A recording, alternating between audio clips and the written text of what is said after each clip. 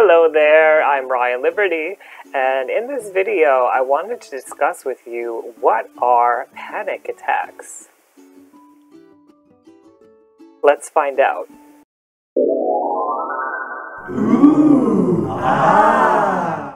Okay, I'm going to do my best to explain what a panic attack is here, but before I get to that, I want to first say that everything that I'm saying here is merely a description of what a panic attack is. It is not the official diagnosis for a panic attack, um, and the only person who can diagnose a panic attack is a licensed therapist. So please do not self diagnose and don't use the information that I'm giving you here to diagnose yourself. This is merely meant for informational purposes. Uh, I have a lot of notes down here that I'm also reading from, so I get, get as clear information as I possibly can to you. Um, but again, I just want to reiterate these are not the diagnostic criteria. So, a panic attack is an exaggerated response to stress. It is something that happens very suddenly. Um, there's no thing that you can point to, maybe like in PTSD, you can kind of point to a trigger. That doesn't really happen with a panic attack. It just comes, it comes on. Um, it can be a symptom of numerous disorders such as panic disorder, agoraphobia, or any phobic disorder, any phobia. Uh, but you do not have to have a disorder to have a panic attack. The symptoms of a panic attack generally last approximately 30 minutes.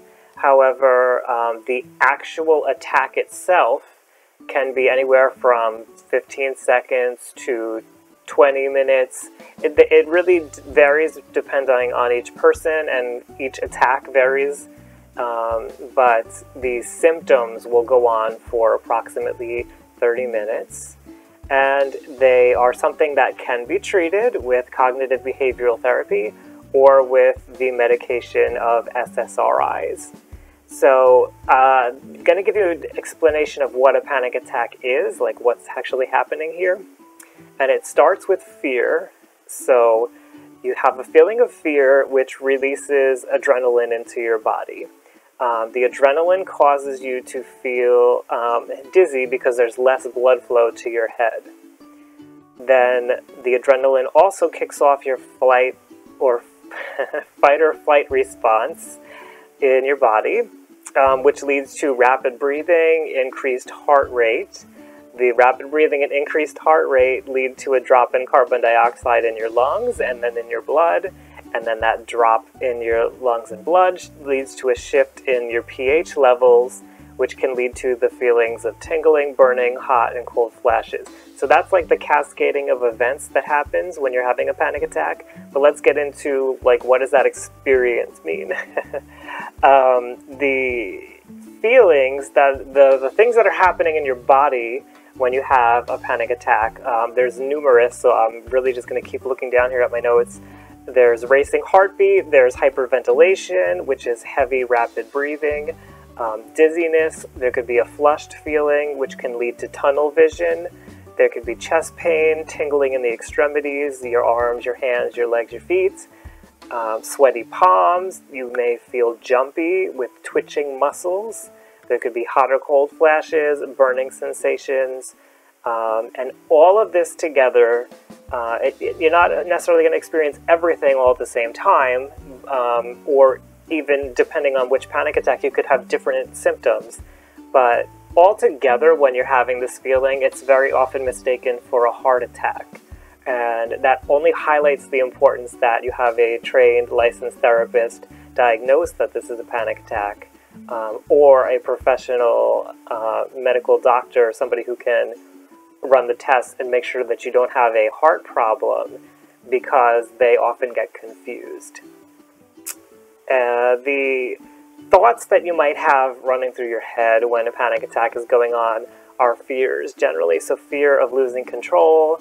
You have, may have a fear that you're having a stroke, and that stroke could lead to a permanent dis- disability. Um, fear of having a heart attack, fear of dying, because it often feels like you're dying it's very frightening. Uh, you had the thoughts in your head could be you're thinking you're going crazy.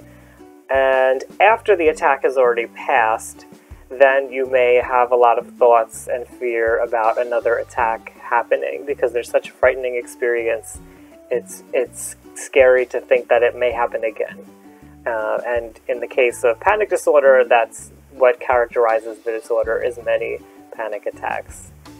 So emotionally, when you have a panic attack, you're generally feeling terror. You're feeling that anxiety, that fear, that stress.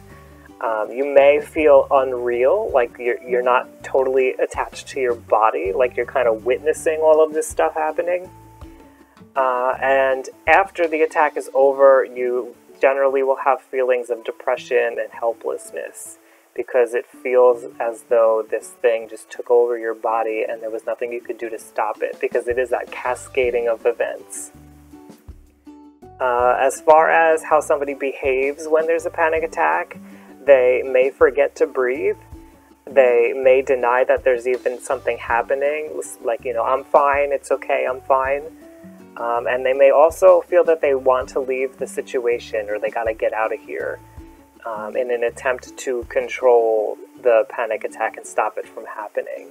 So that was all just a good little summary of what a panic attack is. Uh, if you know somebody who's going through something like that, or you yourself suspect you're going through it, again, I'm just going to say go to a licensed therapist to confirm that you're actually experiencing a panic attack and not something like a medical problem.